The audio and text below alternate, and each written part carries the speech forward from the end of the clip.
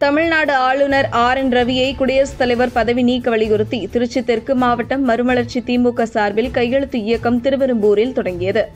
தமிழக ஆளுநர் ரவி தமிழக அரசுக்கு எதிராகவும் தமிழக அரசு கொண்டுவரும் தீர்மானத்திற்கு எதிராகவும் செயல்பட்டு வருவதால் அவரை குடியரசுத் தலைவர் ஆளுநர் பதவியில் இருந்து நீக்க வேண்டும் என்பதை வலியுறுத்தி மதிமுக சார்பில் இன்று முதல் அடுத்த மாதம் இருபதாம் தேதி வரை தமிழகம் முழுவதும் கையெழுத்து இயக்கம் நடத்துவது என முடிவு செய்யப்பட்டது.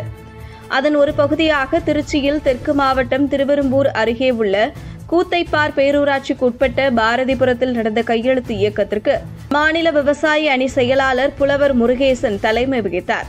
மாவட்ட செயலாளர் மணவை தமிழ் மாணிக்கம் திருவெரும்பூர் வடக்கு ஒன்றிய செயலாளர் திருமாவளவன் துவாக்குடி நகர செயலாளர் மோகன் பெரிய கருப்பன் திருவெரும்பூர் தெற்கு ஒன்றிய செயலாளர் பீட்டர் ஆகியோர் முன்னிலை வகித்தனர். திருவெரும்பூர் முன்னாள் எம்எல்ஏ சேகரன் சிறப்பு விருந்தினராக கலந்து கொண்டு கையெழுத்து இயக்கத்தை முதல் கையெழுத்திட்டு தொடங்கி வைத்தார். இந்த விழாவில் காங்கிரஸ் கட்சியின் திருச்சியில் தெற்கு மாவட்ட தலைவர் கோவிந்தராஜ் இந்திய கம்யூனிஸ்ட் கட்சியின் திருச்சி புறநகர் மாவட்ட செயலாளர் ராஜ்குமார் திமுக தெற்கு ஒன்றிய செயலாளர் கங்காதரன் உட்பட மதிமுக கூட்டணி கட்சியின் நிர்வாகிகள் பலரும் கலந்து கொண்டனர். முன்னதாக தமிழக ஆளுநர் ஆர் என் ரவிக்கு எதிராக ஆர்ப்பாட்டத்தில் ஈடுபட்டனர்.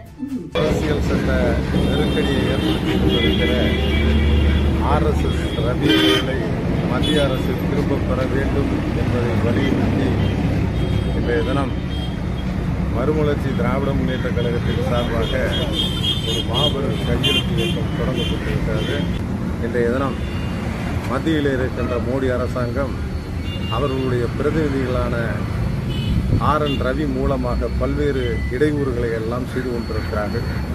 ஆகவே தான் அவரை கண்டித்து இந்த இயக்கம் நடைபெற்று இந்த மோடியினுடைய அரசும் ஆர் என் ரவியினுடைய நடவடிக்கையும் தமிழகத்தை சீரழித்துக் கொண்டிருக்கிறது. இதிலிருந்து ஒன்று முன் எப்போதும் இல்லாத அளவுக்கு ஒரு ஆளுநர் அவர்கள் ஆட்சிக்கு எதிராக ஒரு எதிர்க்கட்சி தலைவர் செய்ய வேண்டிய அந்த இழி செயல்களை விட ஒரு எதிர்க்கட்சி தலைவர் செய்ய வேண்டியதை விட மிக மோசமாக இன்றைய தினம் ஆளுநர் அவர்கள் நடந்து கொண்டிருக்காங்க.